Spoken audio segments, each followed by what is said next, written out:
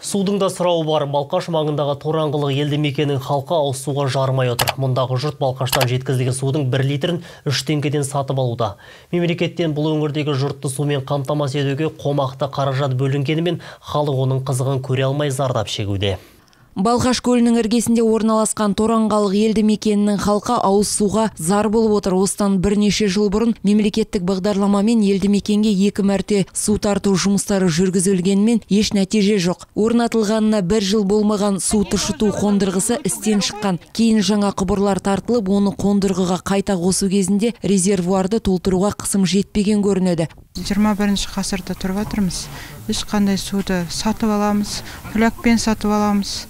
Кейде болмайды кейде болады қаладан тасимыз. Екінші мәселе мынау ауылда ешқандай балаларға деген не жоқ? Площадь жоқ футбол ойнайтын алаң да жоқ бүкілі быт қираған. Кіреберістің өзін қарасаңыздар бір бомба түскен не, не сияқты.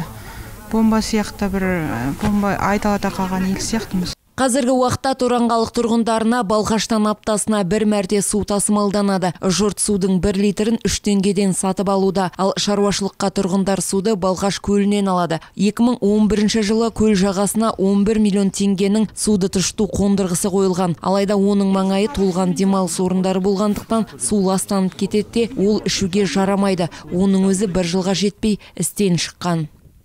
Мемлекеттік бағдарлама бойынша осы жерге су құбырын салынған.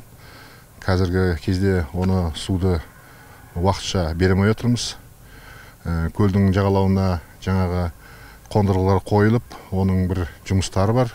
Сол жұмыстарды шешімге шешімін тауып енді алла қаласа мынау күннің жылына қарай соны жібереміз ба деп мақсатымыз бар.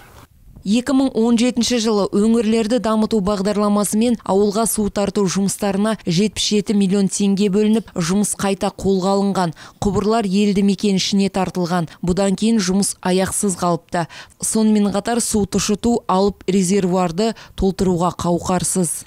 Дұрыс жасалмаған ба, жаңа су құбырын жіберген уақытта енді былай қарасаңыз жаңа башнямыз төменгі жақта тұр мына жоғарғы жақта мысалы 10 метр жоғарыда поселкенің көбісі сол жақта тұрады енді ол мысалы сіз қазір оны халыққа ары қарай поселкаға жіберу үшін бәленшеме киловаттық насостар қоюымыз керек қой.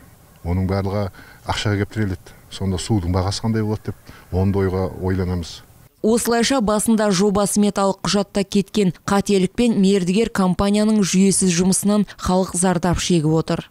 Арайлым сатыбалдықызы равиль валеев бесінші арна. Құрметті көрермендер, бүгінге келіп түскен ақпараттар легі осындай болды. Шарайнадан шынайы ақпар күтіңіздер.